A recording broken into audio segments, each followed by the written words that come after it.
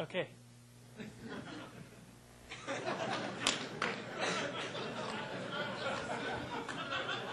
Richard, it seems I have underestimated your ability to fail. For that, I apologize. Not to you, but to the people who would enjoy seeing me tearing your little world apart just that much more. It's a shame, really, that you ignored all of my warnings. Perhaps, if you had just a few brain cells left in that. What? He even spelled this wrong.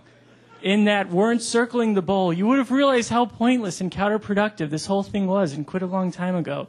This little venture of yours has failed in every level. I would guess that you take as much enjoyment. Oh, put it again. Put it twice. Put it twice.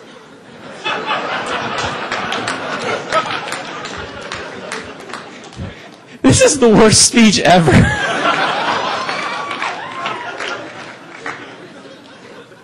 would guess that you take as much enjoyment as anyone might at seeing these ridiculous business models fail like the insane fantasies they were. The pseudo reality of internet commerce has finally been perceived for what it is, and the only people left are those who are lucky, smart, or both. Now being exposed to so much talk of this, for what, like over a fucking year now, have you ever stopped to consider how you ever came to the conclusion that a parasite like yourself could possibly hope to survive in this environment? The corporate tit is gone, and you're completely incapable of surviving on your own. You think these failed companies had stupid business models? How about yours?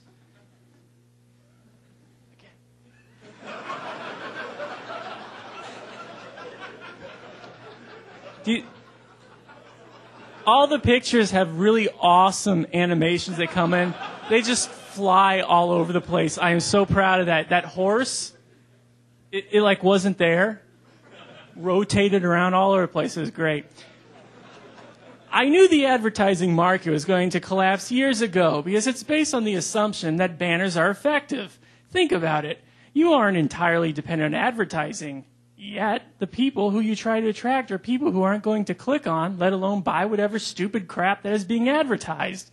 Did you actually think that it was going to last forever? Everybody knows that it doesn't fucking work, and most sites have to beg their readers to click just to pay the server bill. You're an idiot, Richard, and I seriously mean that. The contemptuously stupid decisions you made regarding the various networks you joined don't matter at all because the entire idea was flawed from the start. Enjoy your last moments as a free man. You'll soon be shoveling shit for the rest of your life at some nameless corporation, a vacant look forever edged on your face.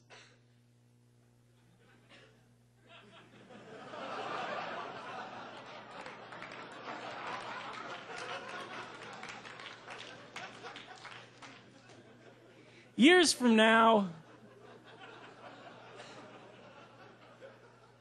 when you're no better off than when you started, when it finally hits you that it's all been nothing but a wasted lie, think of me. Think of me, Richard. And when you do, realize that I was the only beacon of logic and truth in this sad menagerie.